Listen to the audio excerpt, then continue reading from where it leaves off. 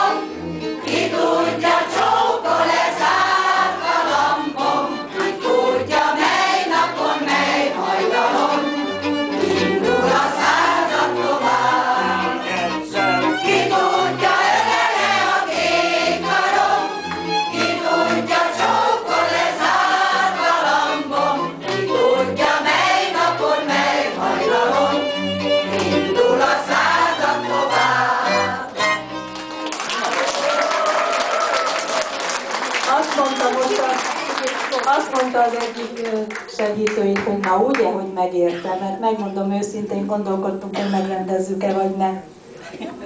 De hát legyen jövőre? Nagyon kicsi volt az igen. Eljöttök csoportok jövőre is? Ha nem lesz első, második, harmadik helyezés, akkor is? Oké. Okay.